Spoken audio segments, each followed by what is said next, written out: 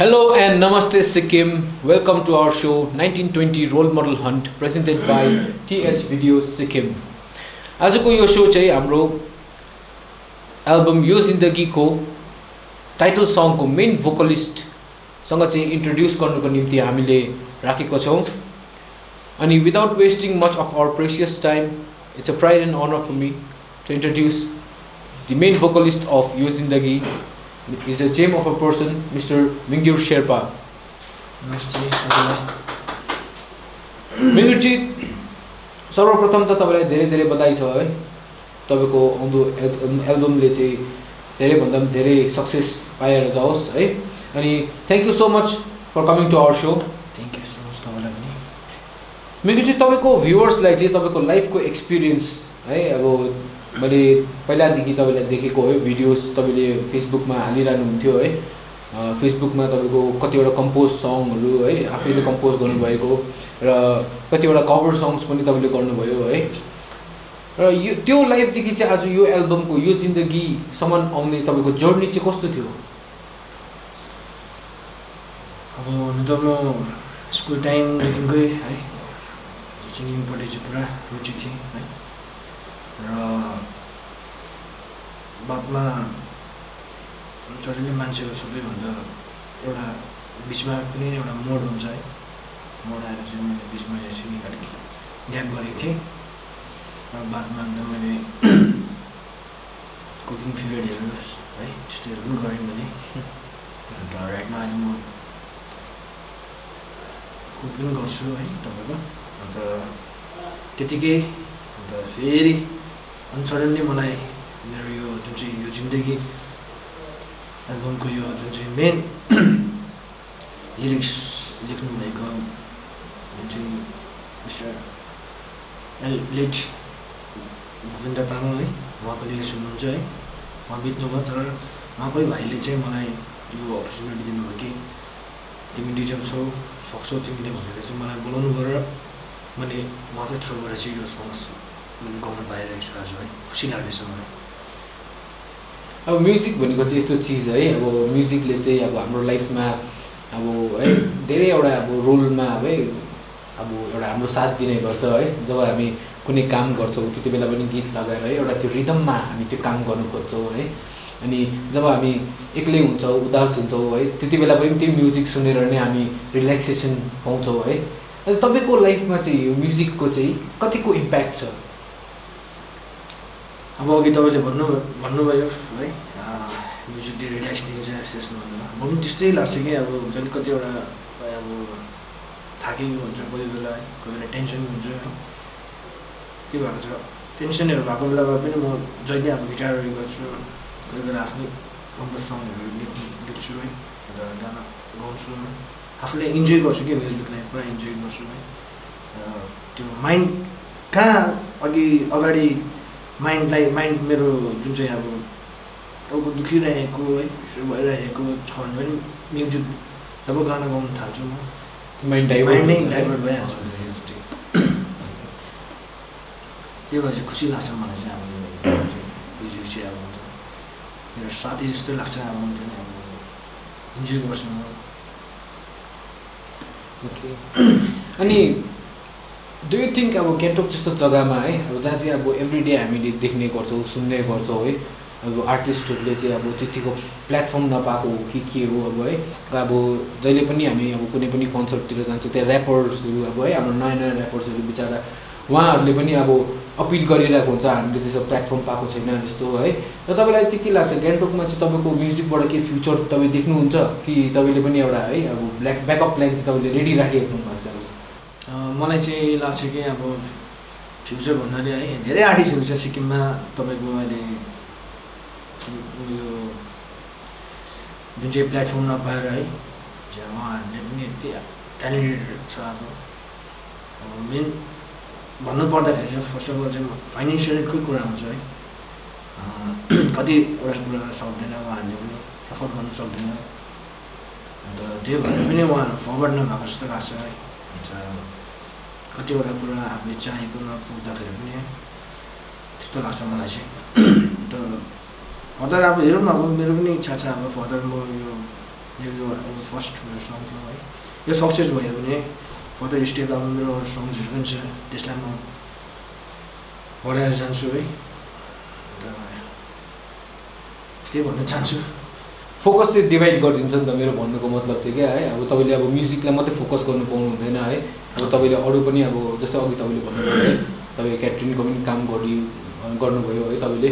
त्यो चाहिँ अब तपाईँ त्यसले गर्दा चाहिँ तपाईँलाई डिस्टर्बेन्स आउँछ म्युजिकको फिल्डमा भन्ने कुरा नि एउटा है? होइन त्यो अब सुन भन्नु भन्नु पर्दाखेरि चाहिँ अब यो जुन चाहिँ यो त मेरो अब पर्सनल उयो हो?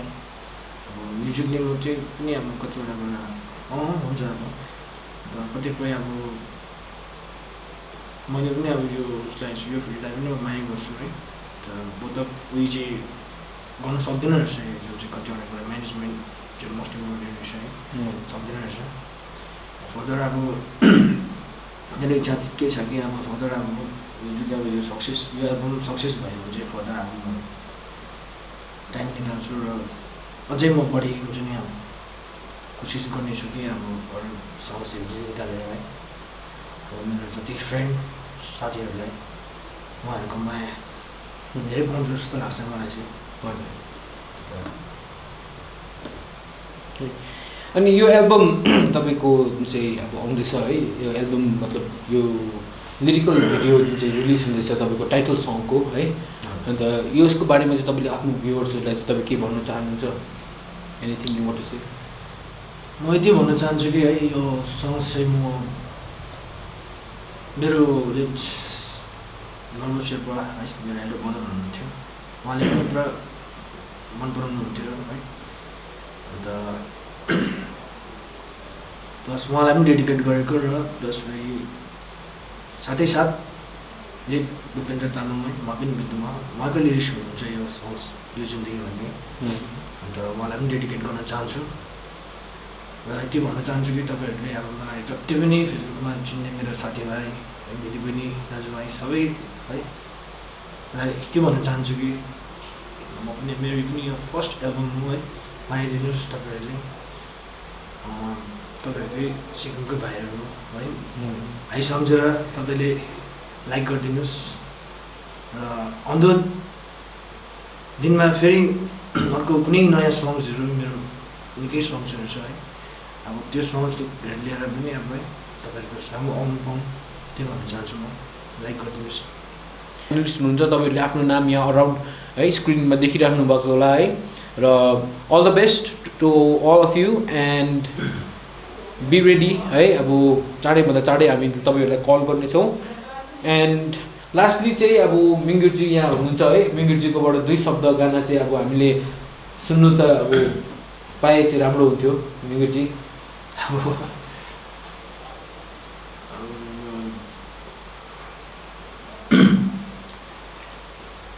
गाना पनि अब लास्ट इयर नै अब यो सङ्ग छ है लास्ट इयर नै हाम्रो रिलिज हुने थियो है हजुर। कोभिड पेन्डेमिक टाइमले गर्दाखेरि यो जुन चाहिँ कोभिडले गर्दाखेरि हामीले यो सङ्ग चाहिँ रिलिज गर्न सकेन है र। अलिक अब म ट्राई गर्छु अति सक्दो अब. तपाईँहरूलाई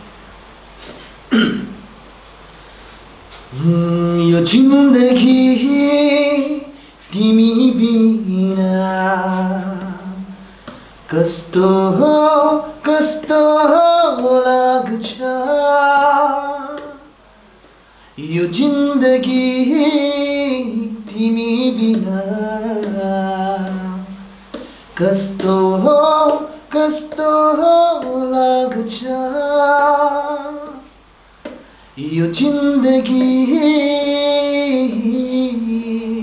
thank you so much Mingirji तपाईँको स्वर चाहिँ हामीलाई एकदमै मन पर्यो है। थ्याङ्क यू सो मच अनि लास्टली चाहिँ अब है म यहाँहरूलाई फेरि पनि एकपल्ट भन्नु चाहन्छु यहाँको गीत चाहिँ चाँडैभन्दा चाँडै युट्युबमा आउँदैछ है lyrical video Yo Jindagi.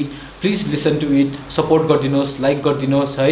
तपाईँहरूले सपोर्ट गर्नु भएन भने आर्टिस्टहरू जति छ फेरि उनीहरू चाहिँ इन्जार बिनाको पाइजामा जस्तै हुन्छ क्या है? त्यसले गर्दा चाहिँ लाइक एन्ड सपोर्ट गर्नु चाहिँ धेरै भन्दा धेरै जरुरी छ है? भ्युवर्स बिना चाहिँ तपाईँहरू भ्युवर्स बिना चाहिँ है? आर्टिस्टहरूको चाहिँ केही भ्याल्यु रहँदैन है?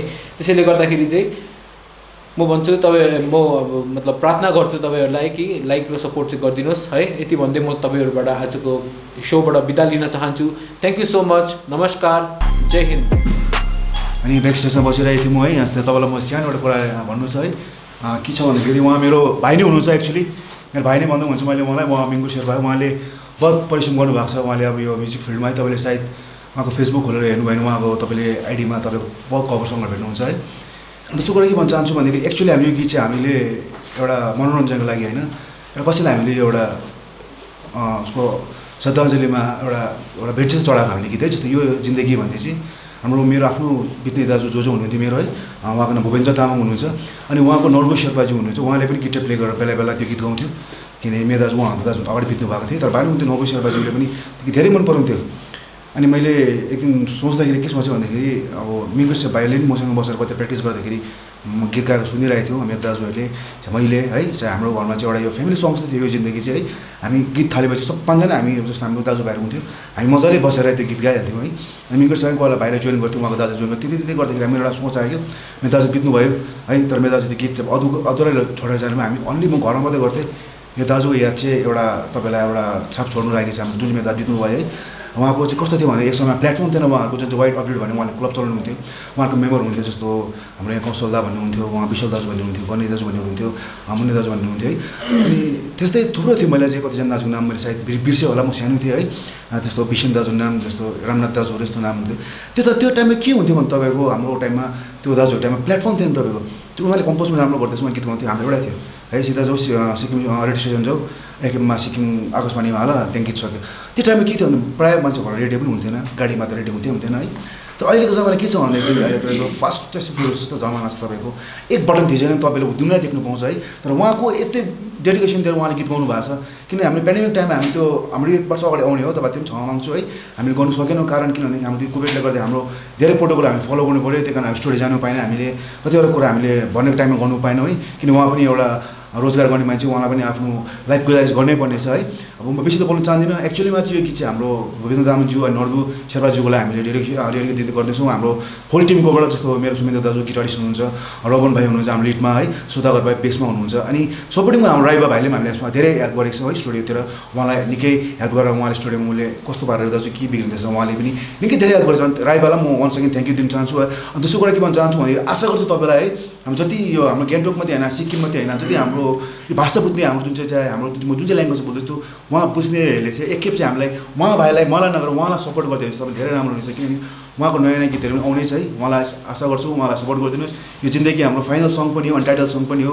हाम्रो मेन एल्बमको थिम सङ पनि हो। अनि यसमा हाम्रो मोडल पनि गरेको थियौँ है। त्यसको फाइनल पनि चाँडै नै आउँदैछ। हाम्रो त्यो हाम्रो हाम्रो भाइले भनिहाल्नु भयो प्रज्ञानज्यूले भनिहाल्नु भयो त्यति भन्ने बिदा लिन चाहन्छु। अनि थ्याङ्क यू मिङ्गोज्यू तपाईँलाई वान सेकेन्ड है। तपाईँले आज स्टुडियोमा आएर हाम्रो यतिको राम्रोसँग बोलिदिनु है हामी बिहान